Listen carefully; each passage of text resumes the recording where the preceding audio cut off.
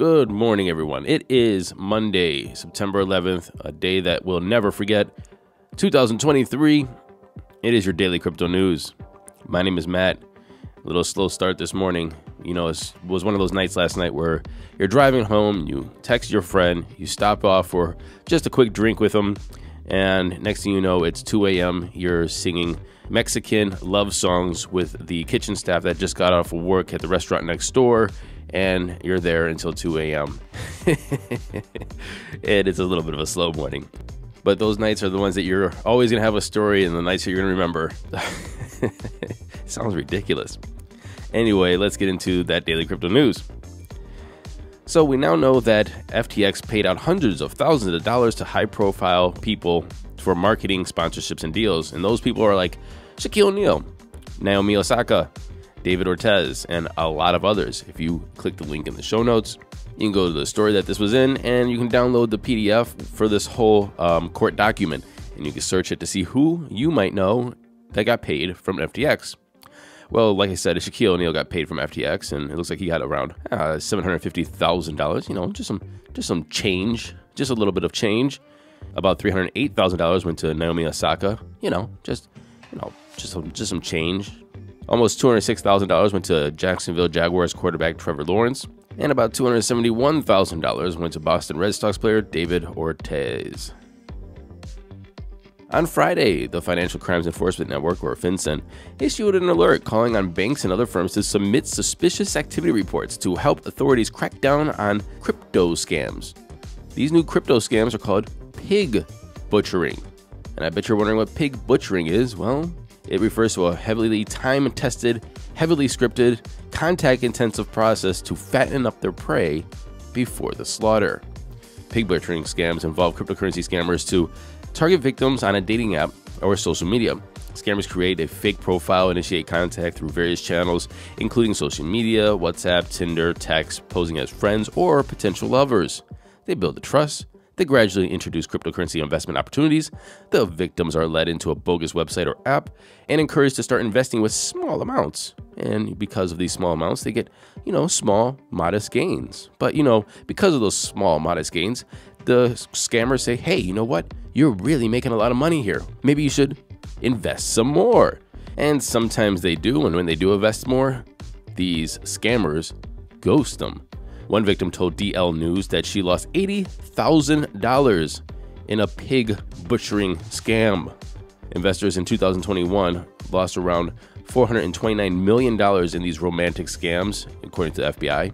And from 2021 to 2022, scams were up 183% to $2.6 billion. Speaking of scams, it looks like Vitalik Buterin fell victim to a hacker on Twitter. His Twitter was hacked. And then the hacker went on to steal around $691,000 from victims who used the corrupted link that was posted in his feed. This hack was first noticed on Saturday when a post appeared on Vitalik Buterin's Twitter announcing the launch of a commemorative NFT. And this commemorative NFT was from software provider ConsenSys. So apparently, hey, launching this new NFT. It's with software provider ConsenSys. We have this thing going on. Click this link, get yourself some NFTs, and well, money's gone.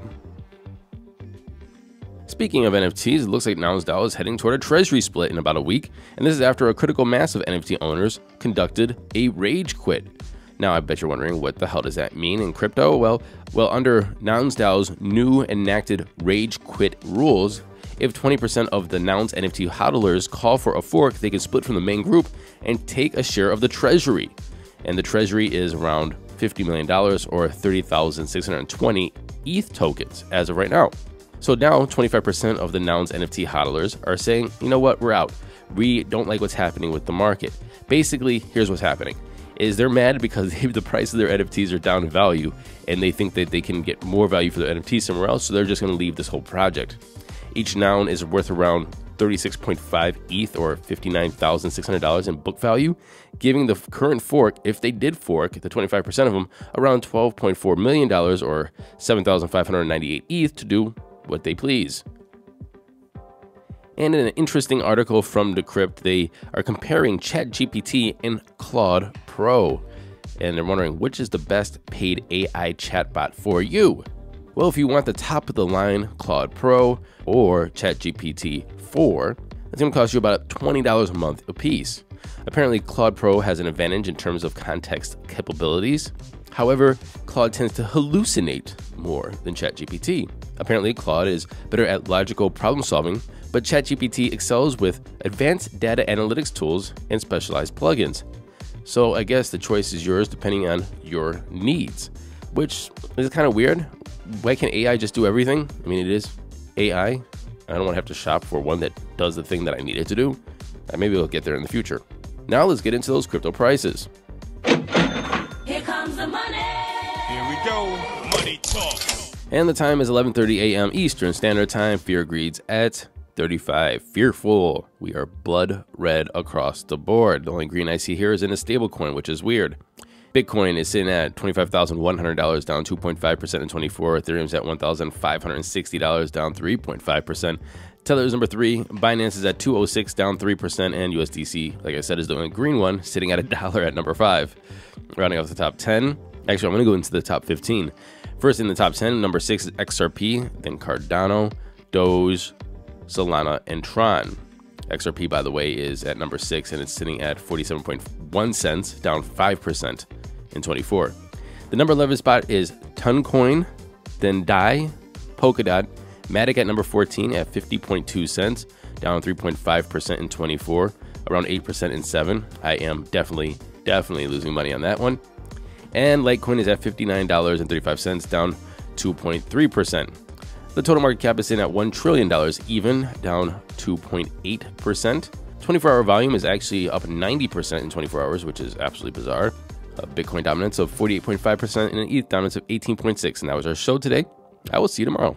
Until then, happy hodling, everyone.